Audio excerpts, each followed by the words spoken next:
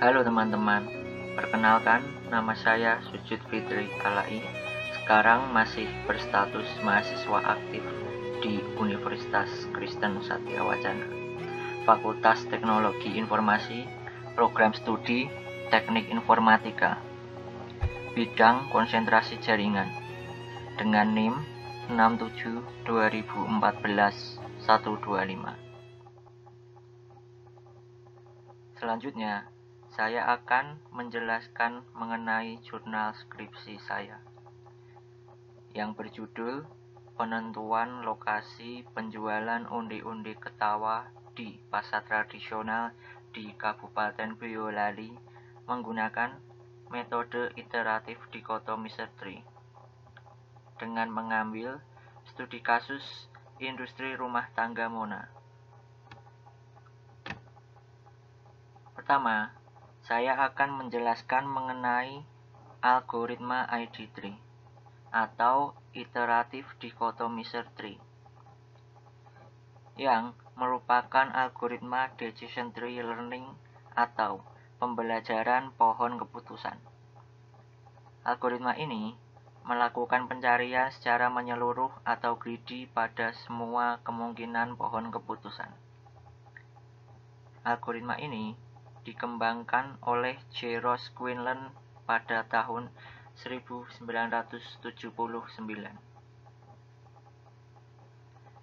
ID3 bekerja berdasarkan nilai entropi, yaitu dengan mengevaluasi semua atribut yang ada untuk mendapatkan tingkat pengaruh suatu atribut dalam mengklasifikasi sampel data menggunakan suatu ukuran yang dikenal dengan information gain.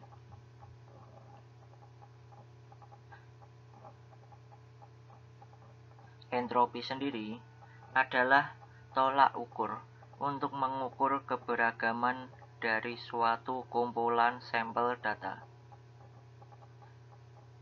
Jika kumpulan sampel data semakin beragam, maka nilai entropi semakin besar. Secara matematis, entropi dirumuskan pada persamaan sebagai berikut ini. Ini adalah rumus entropi.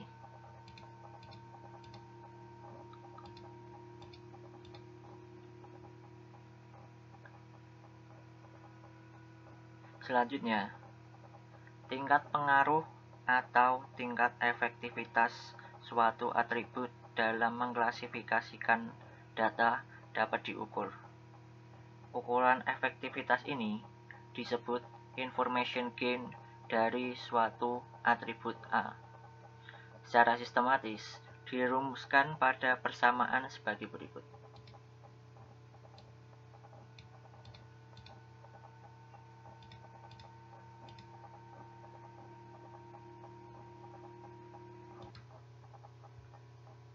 Selanjutnya, pengertian penjualan adalah proses sosial manajerial di mana individu dan kelompok mendapatkan apa yang dibutuhkan dan diinginkan, menciptakan, menawarkan, dan mempertukarkan produk yang bernilai dengan pihak lain.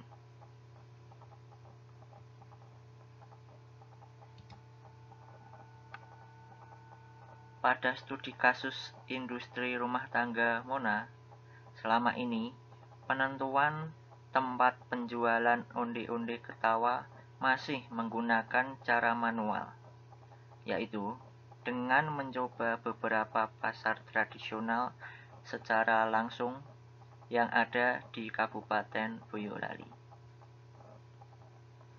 Produsen sering mengalami masalah karena cara tersebut, yaitu terbuangnya banyak waktu hanya untuk menjual onde-onde ketawa sehingga mengurangi waktu produksi dan pada setiap percobaan penjualan tidak semuanya sesuai dengan harapan. Sehingga diperlukan sebuah model ID3 berdasarkan data atribut terkait yang menjadi dasar untuk menentukan tempat penjualan.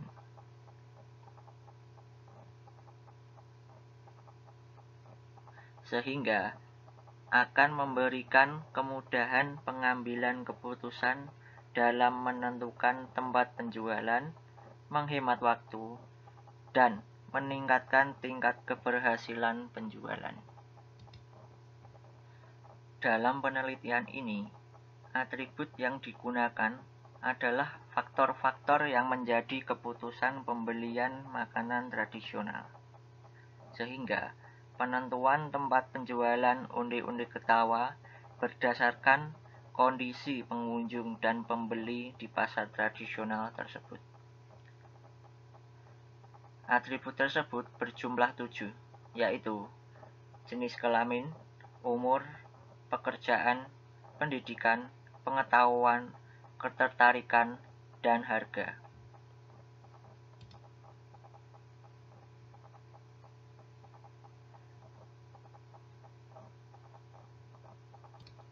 Berikut merupakan data yang diperoleh secara acak dari para pengunjung dan pembeli di pasar tradisional Ampel melalui kuesioner.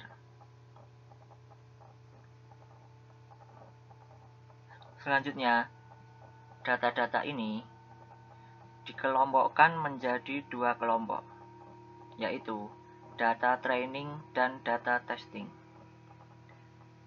Yang pertama, data training untuk pembentukan pohon keputusan sebanyak 66 data yang terdiri dari 45 data terjadi pembelian dan 21 data tidak terjadi pembelian. Yang kedua adalah data testing data testing untuk pengujian pohon keputusan sebanyak 23,25% dari keseluruhan sampel data yaitu berjumlah 20 data yang terdiri dari 12 data terjadi pembelian dan 8 data tidak terjadi pembelian. Selanjutnya, nilai entropi dan information gain masing-masing atribut untuk menentukan root dari pohon keputusan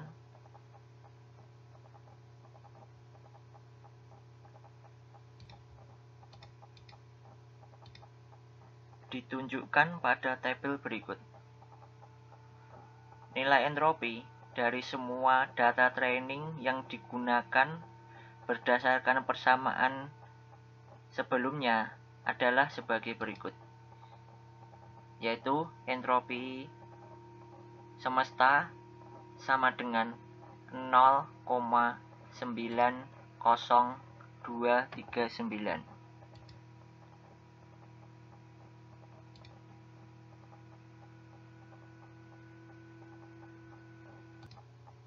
nilai entropi dan nilai information gain masing-masing atribut pada pengulangan pertama ditunjukkan pada tabel berikut ini. Yang pertama, atribut jenis kelamin memiliki nilai entropi laki-laki sama dengan 0,85242 untuk nilai entropi perempuan sama dengan 0,94807 dengan nilai information gain jenis kelamin sebesar 0,00651 untuk atribut kedua yaitu umur. Dengan nilai entropi umur 10 sampai 29 tahun sama dengan 0,74249 untuk umur 30 sampai 49 tahun memiliki nilai entropi 0,63740 dan untuk nilai entropi umur di atas atau sama dengan 50 tahun adalah 0,33719 dan nilai information gain dari atribut umur yaitu 0,30753 untuk atribut yang ketiga atribut pekerjaan pelajar atau mahasiswa memiliki nilai entropi 0,46898 untuk nilai entropi swasta sama dengan 0,37120. Untuk nilai entropi PNS sama dengan 1,0 dan untuk nilai entropi lain-lain sama dengan 0,0 81126. Untuk nilai information gain pekerjaan sebesar 0,2364.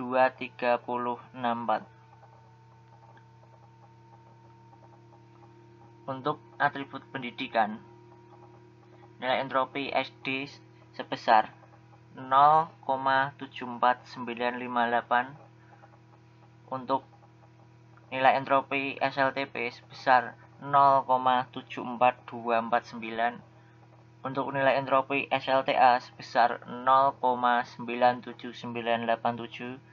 untuk nilai entropi diploma sebesar 1,0 untuk nilai entropi sarjana sebesar 1,0 dan nilai entropi lain-lain sebesar 0,91830. Nilai information gain dari atribut pendidikan sebesar 0,0471. Selanjutnya, atribut pengetahuan untuk nilai entropi ya sebesar 0,729 25 dan nilai entropi tidak sebesar 0,65001. Nilai information gain dari pengetahuan sebesar 0,18757.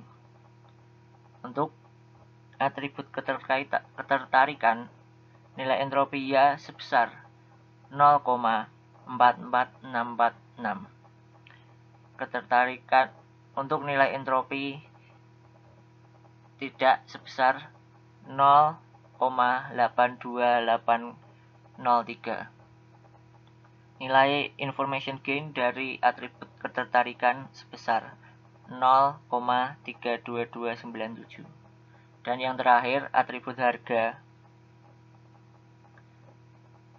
Nilai entropi sesuai sebesar 0,43497 dan nilai entropi tidak sesuai sebesar 0,77322.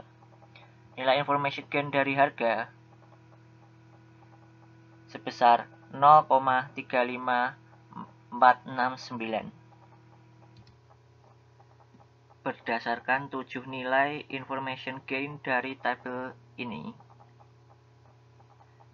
harga memiliki nilai information gain terbesar yaitu 0,35469 sehingga harga menjadi atribut atribut base classifier dan diletakkan sebagai root dari pohon keputusan yang dibangun.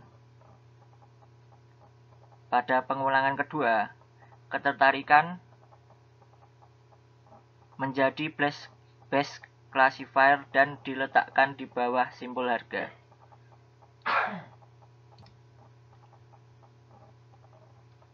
Selanjutnya, di bawah ketertarikan diletakkan pendidikan, dan di bawah pendidikan diletakkan umur.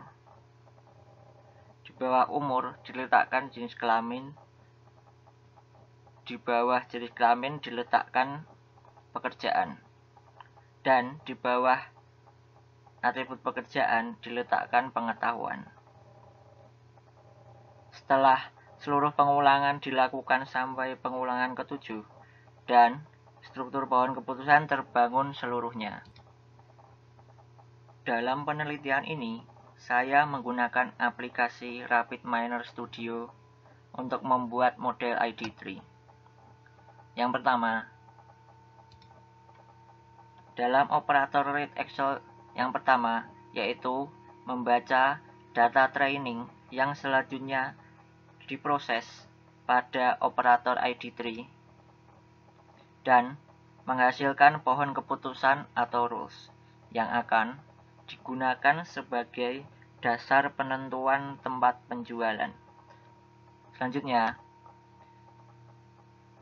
dalam operator read Excel yang kedua, yaitu membaca data testing yang selanjutnya diproses pada operator apply model dan operator performance. Digunakan untuk menguji akurasi dari rules yang telah dihasilkan operator ID3.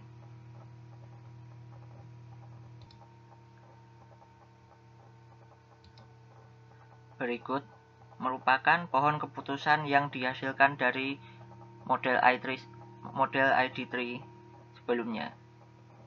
Yang selanjutnya akan dirubah ke dalam bentuk if yang akan diterapkan pada aplikasi Android.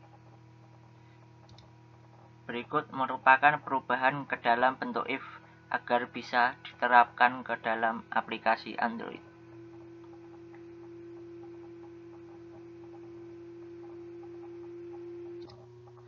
Untuk rules yang dihasilkan berjumlah 12 rules yang yang terdiri dari 6 dengan keputusan beli dan 6 dengan keputusan tidak beli. Untuk rules yang pertama, if harga sama dengan sesuai dan ketertarikan sama dengan ya, maka keputusan adalah beli. Untuk rules yang kedua, if harga sama dengan sesuai dan ketertarikan sama dengan tidak dan pendidikan sama dengan diploma, maka keputusan tidak beli. Untuk rules yang ketiga, if harga sama dengan sesuai dan ketertarikan sama dengan tidak, dan pendidikan sama dengan sarjana, maka keputusan adalah tidak beli.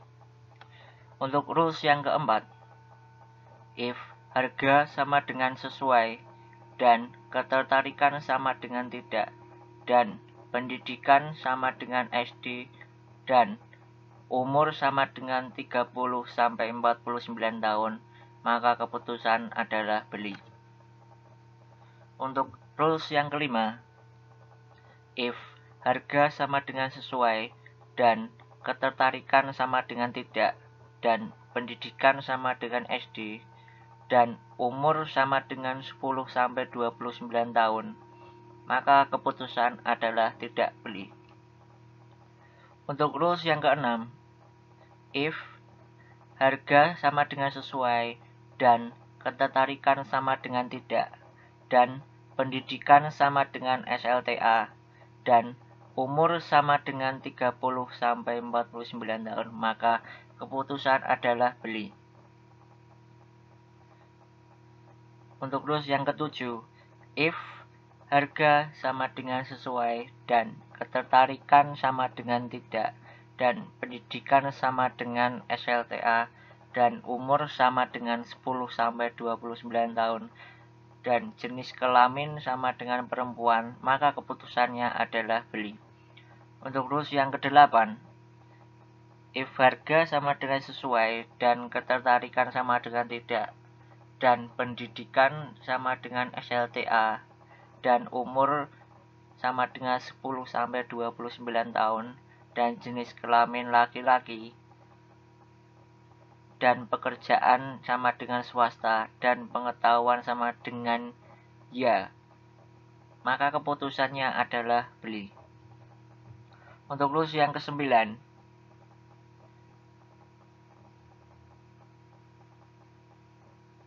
if harga sama dengan sesuai dan ketertarikan sama dengan tidak dan pendidikan SLTA dan umur sama dengan 10 sampai 29 tahun dan jenis kelamin laki-laki dan pekerjaan sama dengan swasta dan pengetahuan ya, maka keputusannya adalah tidak beli.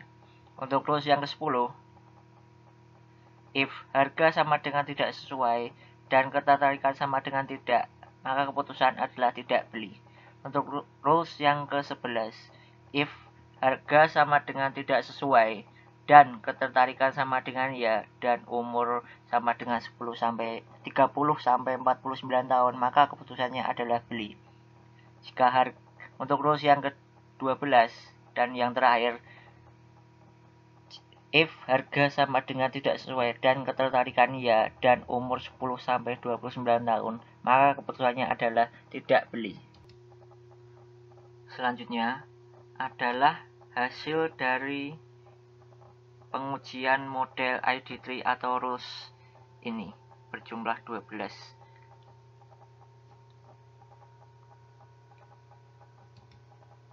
Pada performance vector menunjukkan atau menghasilkan akurasi sebesar 80%.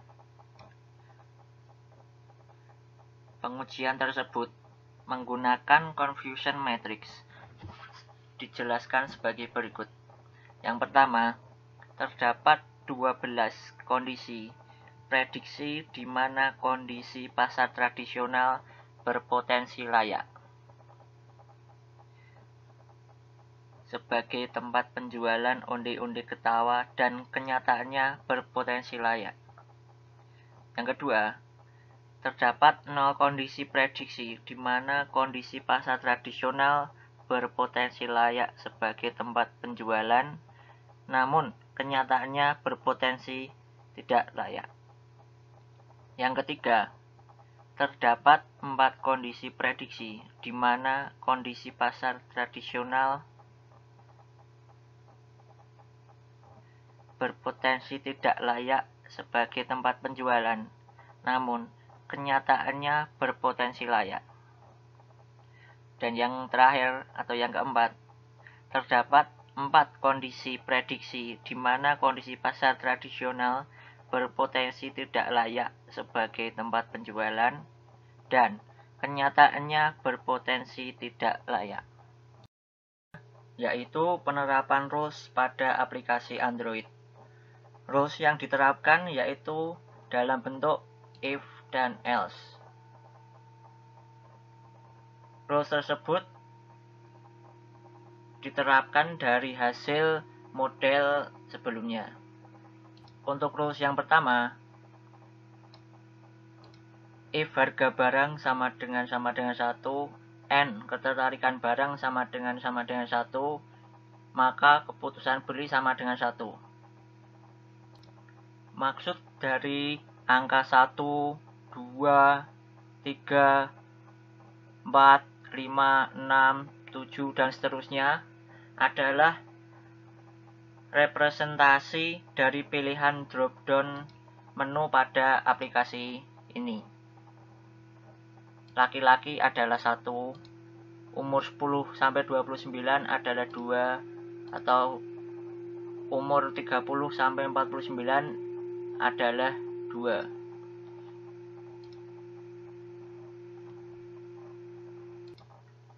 Angka tersebut berda berasal dari konsumen.java yaitu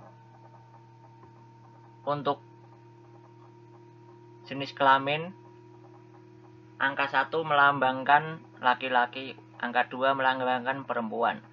Untuk umur konsumen 1 sama dengan sama dengan atau melambangkan umur 10 sampai 29 tahun Angka 2 melambangkan umur 10, 30 sampai 49 tahun dan seterusnya sesuai data konsumen yang di inputkan. Untuk rules yang kedua ini sama dengan rules 12 rules yang dihasilkan pada model sebelumnya. Hanya dirubah seperti rules 1 yaitu representasi dari data pengunjung pasar. Berjumlah 12 rules. Seperti yang sudah saya jelaskan sebelumnya. Selanjutnya, adalah penggunaan aplikasi penentuan tempat penjualan. Pada tampilan ini menunjukkan tampilan tab input tab input data pengunjung pasar. Dalam sistem ini harus memasukkan nama pengunjung dan seluruh kriteria harus dimasukkan dengan cara memilih pilihan dropdown yang tersedia.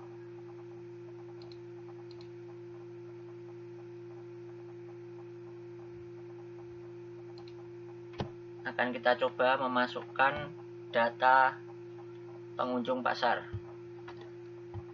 Kita tuliskan nama. Nama ini opsional. Kita pilih jenis kelaminnya sesuai data untuk jenis kelamin laki-laki untuk umur 10 sampai 29 tahun untuk pekerjaan pelajar atau mahasiswa untuk pendidikan adalah sarjana pengetahuan konsumen terhadap barang, konsumen mengetahui barang. Untuk ketertarikan barang, konsumen tertarik terhadap barang. Dan yang terakhir, harga barang sesuai dengan konsumen. Selanjutnya, pilih simpan. Akan muncul keterangan data tersimpan. sehingga data akan masuk ke dalam database sistem. Ulangi proses tersebut sebanyak data yang akan dimasukkan. Selanjutnya adalah tab list data pengunjung pasar. Kita lakukan refresh agar data yang diinputkan sebelumnya bisa tampil dalam list data ini data sudah tampil setelah di refresh. Dalam aplikasi ini, hasil prediksi setiap pengunjung pasar akan tampil secara otomatis sesuai rules ID tree yang telah diterapkan pada rules 12 rules ini akan otomatis memunculkan atau menghasilkan prediksi pada list data. Selanjutnya adalah verifikasi pembelian. Data ini belum terverifikasi seperti tidak seperti data-data lainnya. Kita klik. Kita harus memilih antara tidak membeli atau sudah membeli pada setiap data sesuai sumber data kita pilih sudah membeli?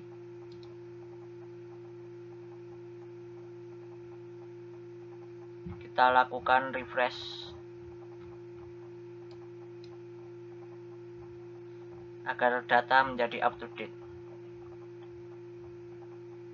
Otomatis data akan berubah menjadi sudah membeli. Selanjutnya pada tab hasil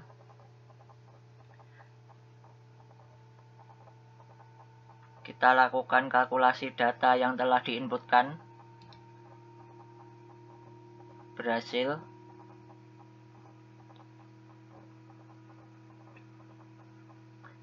Akan muncul persentase kelayakan tempat penjualan menggunakan confusion metric serta jumlah data yang telah dikelompokkan berdasarkan keputusan pembelian, yaitu sudah membeli atau tidak membeli.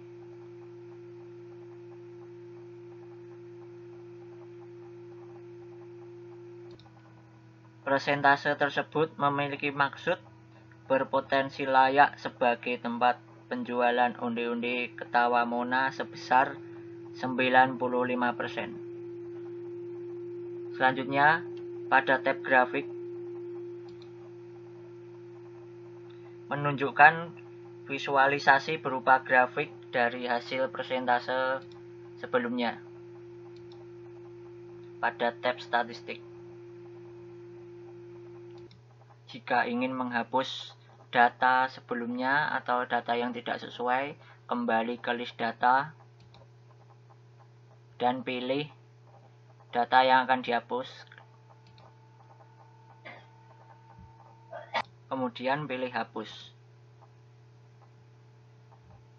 Dan lakukan refresh agar data menjadi up to date untuk data sebelumnya sudah terhapus dari database. Untuk melihat detail data dari data yang telah diinputkan, bisa melakukan klik detail.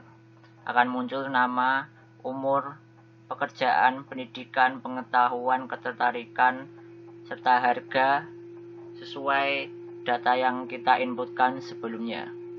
Yang terakhir adalah kesimpulan. Berdasarkan penelitian, pembahasan, dan pengujian, maka dapat disimpulkan yang pertama, dalam melakukan penentuan tempat penjualan onde-onde ketawa di pasar tradisional di Kabupaten Boyolali mempertimbangkan berbagai atribut. Adapun atribut yang dipertimbangkan meliputi tujuh atribut, yaitu jenis kelamin, umur, pekerjaan, pendidikan, pengetahuan, ketertarikan, dan harga. Yang kedua, atribut harga memiliki pengaruh terbesar dalam penentuan tempat penjualan onde-onde ketawa di pasar tradisional di Kabupaten Boyolali. Hasil tersebut dibuktikan dengan nilai information gain sebesar 0,35469.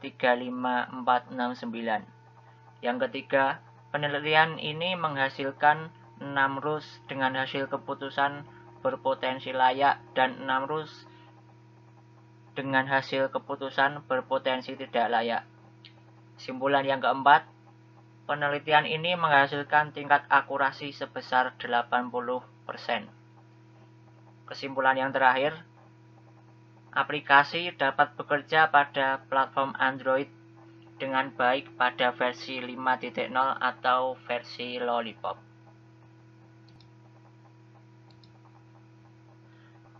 Demikian video tentang jurnal skripsi saya.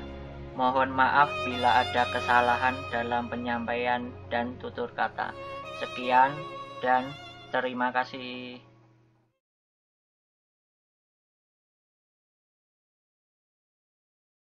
I paid my dues time after time.